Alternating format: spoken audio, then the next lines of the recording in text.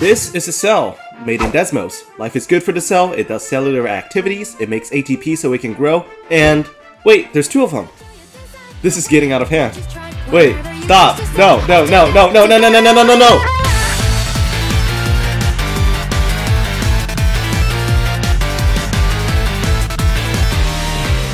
I lied, we're actually going to be going over some vocabulary first. So chromatin is DNA wrapped around the histone proteins. These condense in cellular division to form chromatids. Why am I telling you this? Because it gets important later on. Also, for the purposes of me not losing off my sanity, we're going to use an imaginary cell with 6 chromosomes in total for all illustrations. So n equals 3 and 2n equals 6, where 2n is actually the normal number of chromosomes, because n stands for the number of unique sets of chromosomes in a cell, and there are two because this is called a diploid cell.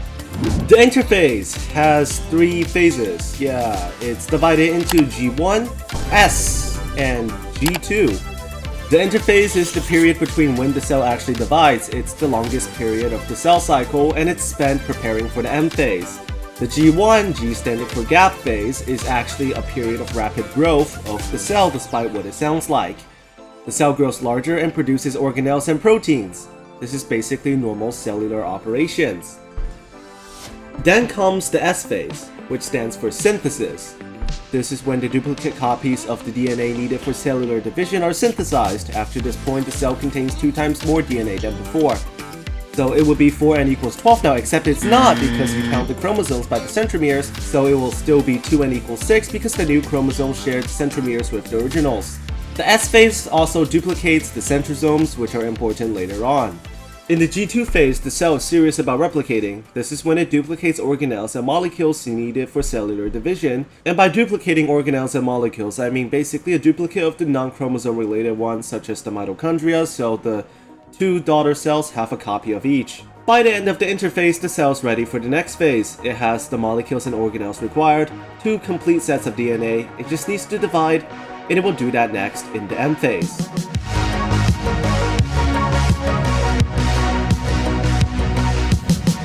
The M phase is the shortest phase of the cell cycle. It gets its name from the process of mitosis, but it has two different steps, mitosis and cytokinesis. This is how a cell goes from 1 to 2.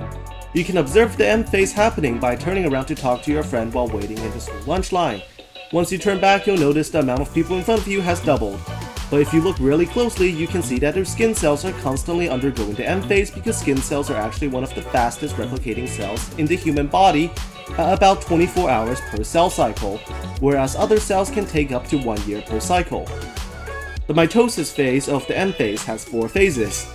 The prophase, the metaphase, the anaphase, and the telophase. This can be remembered with this very useful acronym. The cell splits in 4 stages, it's really not too hard, or TCSIFSIRNTH, or just use PMAT, we can't stop you. The prophase is the first and longest phase of mitosis. It takes half the total time for mitosis to complete. The duplicated chromatins condense into sister chromatids, which attach to each other on a point called the centromere. Meanwhile, meiotic spindles, structures made out of microtubules and proteins, form from centrosomes, which have centrioles inside of them in the case of an animal cell. Plant cells don't have these. Uh, these ensure that chromosomes are divided equally. There are a pair of centrosomes and spindles originating from them per cell, and similarly to real-life twins, they absolutely hate each other, so they actually move towards opposite ends of the cell. Also, the nuclear membrane that makes up the nucleus is gone by this phase. In the metaphase, the chromosomes line up across the center of the cell, and the meiotic spindles from both poles connect to the centromeres of each chromosome. This is how chromosomes will be separated equally later. And by later, I mean right now because it's time for the cell to move to the anaphase.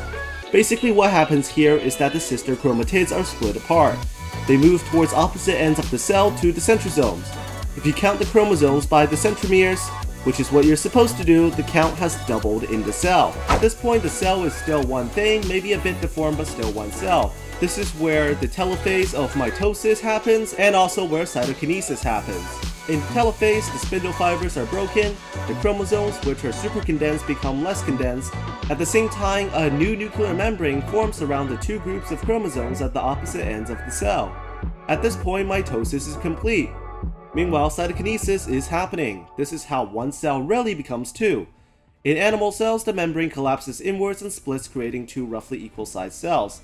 Meanwhile, plant cells just plant a plate between the two cells that a cell wall and membranes grow out of. So what you're saying is that the parent cells eject the two new cells called the daughter cells? Yeah, somewhat, but it's not really like an ejection more than a new cell membrane or wall being formed between the two cells. So in some ways it's like how I'm about to eject you from this aircraft. I said somewhat.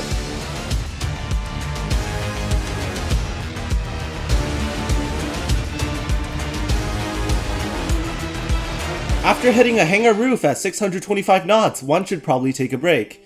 Cells don't have to worry about hitting hangar roofs, but they also do take breaks because of various reasons, such as a lack of nutrients or broken DNA. Cells sometimes would just say screw this, I'm out, and exit the cell cycle. These cells will not divide while they are in the G0 phase, which is what exiting the cell cycle is, and their current and only objective is to survive.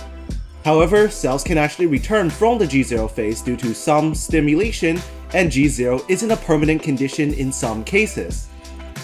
So, uh, welcome to the end. Anyways, thanks for watching. It's like 1 a.m. as I'm editing this, and I'm gonna go to sleep.